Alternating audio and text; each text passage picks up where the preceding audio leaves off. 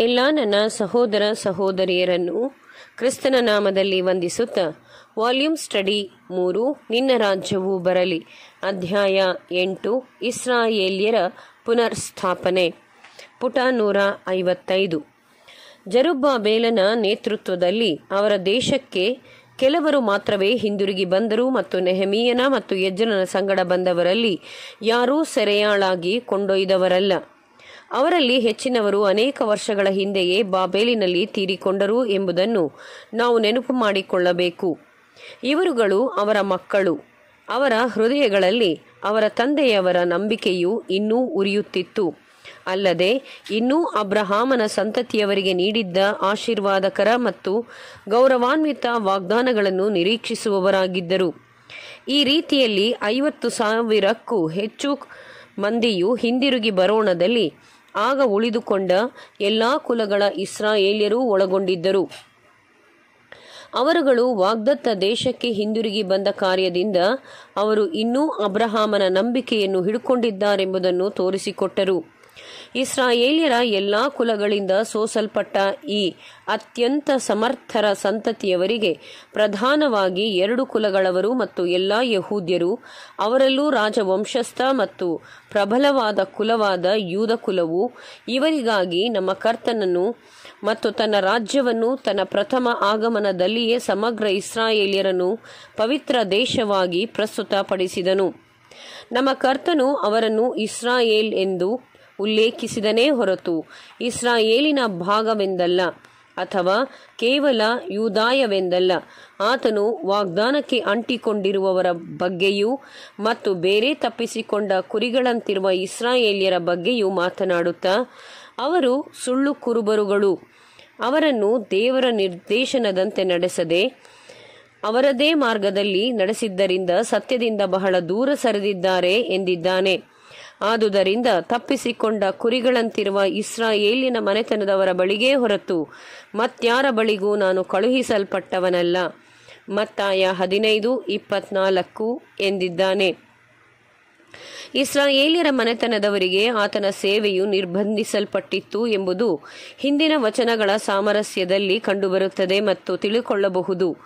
ಎಲ್ಲ ಇಸ್ರಾಯೇಲ್ಯರು ಎಂಬ ಪದವು ನಮ್ಮ ಹನ್ನೆರಡು ಕುಲಗಳು ನಿರಂತರವಾಗಿ ದೇವರನ್ನು ಸೇವಿಸುತ್ತಿದ್ದರು ಕರ್ತನ ಮತ್ತು ಅಪೋಸ್ತಲರ ಹೇಳಿಕೆಗಳು ಆತನ ಕಾಲದ ಯಹೂದ್ಯರು ಮಾತ್ರವೇ ಇಸ್ರಾಯೇಲಿರೆಂದು ಮಾನ್ಯ ಮಾಡಲ್ಪಟ್ಟ ಪ್ರತಿನಿಧಿಗಳಾಗಿದ್ದರು ಎಂದು ಸೂಚಿಸುತ್ತದೆ.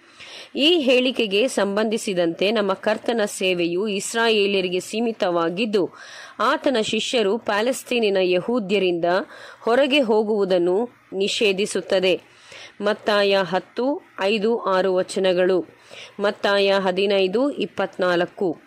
ಅಪೋಸ್ತಲರು ಆ ಕಾಲದಲ್ಲಿ ಪ್ಯಾಲೆಸ್ತೀನ್ನಲ್ಲಿ ವಾಸಿಸುತ್ತಿದ್ದವರ ಬಗ್ಗೆ ಮಾತನಾಡುವಾಗ ಇಸ್ರಾಯೇಲ್ ಎಂಬ ಪದವನ್ನೇ ಹೊರತು ಯೂದಾಯ ಎಂಬ ಪದವನ್ನು ಬಳಸಲಿಲ್ಲ ಎಂಬುದನ್ನು ಅಪೋಸ್ತಲರ ಕೃತ್ಯಗಳು ಎರಡು ಇಪ್ಪತ್ತೆರಡು. ಅಪೋಸ್ತಲರ ಕೃತ್ಯಗಳು ಮೂರು ಹನ್ನೆರಡು. ಐದನೇ ಅಧ್ಯಾಯ ಮೂವತ್ತೈದನೆಯ ವಚನ. ಹದಿಮೂರನೇ ಅಧ್ಯಾಯ ಹದಿನಾರನೇ ವಚನ. ಇಪ್ಪತ್ತೊಂದನೇ ಅಧ್ಯಾಯ ಇಪ್ಪತ್ತೆಂಟನೇ ವಚನ. ಮತ್ತು ಅವರು ಹೇಗೆ ಇಸ್ರಾಯೇಲ್ಯರ ಉಳಿಕೆಗಳು ಎಂಬ ಏಷಾಯನ ಮಾತುಗಳಲ್ಲಿ ಹೋಲಿಕೆ ರೂಪದಲ್ಲಿ ಸುವಾರ್ತೆಯನ್ನು ಸ್ವೀಕರಿಸಿದ ಕೆಲವರಿಗೆ ಅನ್ವಯಿಸಿದರೆಂಬುದನ್ನು ಗಮನಿಸಿರಿ. ರೋಮ ಒಂಬತ್ತನೇ ಅಧ್ಯಾಯ ನಾಲ್ಕನೇ ವಚನ, ಇಪ್ಪತ್ತೇಳು, ಇಪ್ಪ, ಇಪ್ಪತ್ತೊಂಬತ್ತು ವಚನಗಳು, ಮೂವತ್ತೊಂದರಿಂದ ಮೂವತ್ತ್ಮೂರು ವಚನಗಳು.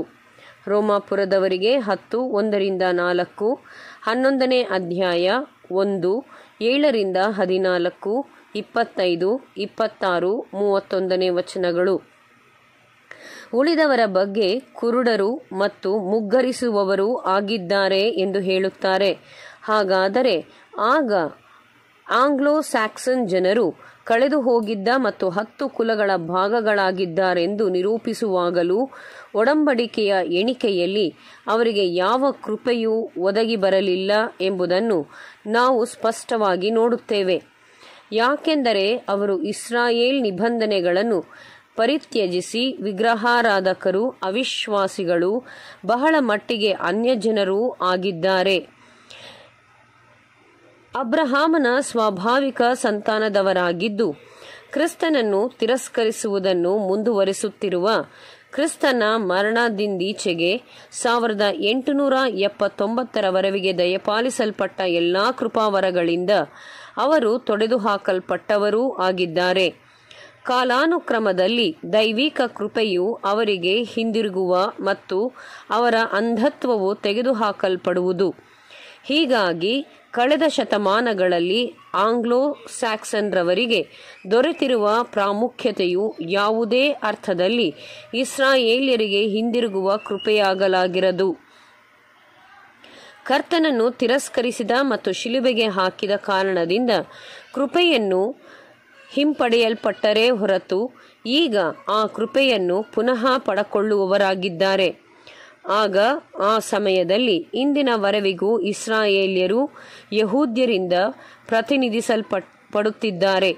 ರೋಮಾಪುರದವರಿಗೆ ಎರಡು, ಒಂಬತ್ತರಿಂದ ಹತ್ತು ವಚನಗಳು. ಈಗ ಯಹೂದ್ಯರು ಸುವಾರ್ಥ ಯುಗದಲ್ಲಿ ಅಬ್ರಹಾಮನ ಸ್ವಾಭಾವಿಕ ಸಂತಾನವಾಗುವ ಕೃಪೆಯನ್ನು ಹೊಂದಿದ್ದಾರೆ. ಇವರುಗಳು ಆತ್ಮೀಕ ಸಂತತಿಯೊಂದಿಗೆ ಸುವಾರ್ಥ ಯುಗದಲ್ಲಿ ಇಸ್ರಾಯೇಲಿನ ಉಳಿಕೆಯವರು. ಅನ್ಯ ಜನರಿಂದ ಜನಶೇಷವಾಗಿ ಕೂಡಿಸಲ್ಪಟ್ಟವರಾಗಿದ್ದಾರೆ. ಅವರುಗಳು ಲೋಕದ ಮೇಲೆ ಎಲ್ಲ ಕುಟುಂಬಗಳಿಗೆ ದೇವರ ಆಶೀರ್ವಾದದ ಪಾರುಪತ್ಯಗಾರರಾಗಿ ಆರಿಸಲ್ಪಟ್ಟವರಾಗಿದ್ದಾರೆ ಎಂಬುವಂಥದ್ದೇ.